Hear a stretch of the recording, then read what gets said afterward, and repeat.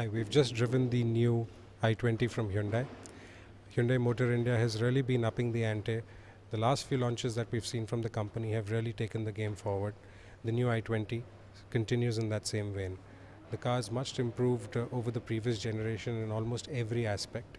Even though it still carries forward the same powertrains, these have been optimized for better fuel efficiency as well.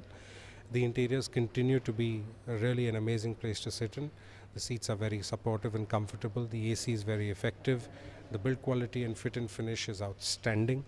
Style wise, it feels a much more grown up and very European looking car. That has been the intent right from the start, which is why the car was styled in Europe and Germany. So, overall, the product really has. Uh, moved the game forward to quite an extent. This is a car today that can rub shoulders with the best uh, super minis in the world. As far as the Indian market goes, this is probably the best uh, premium hatchback on sale currently. But overall, as far as the basics are concerned, Hyundai have uh, ticked all the boxes. Everything about this car is good.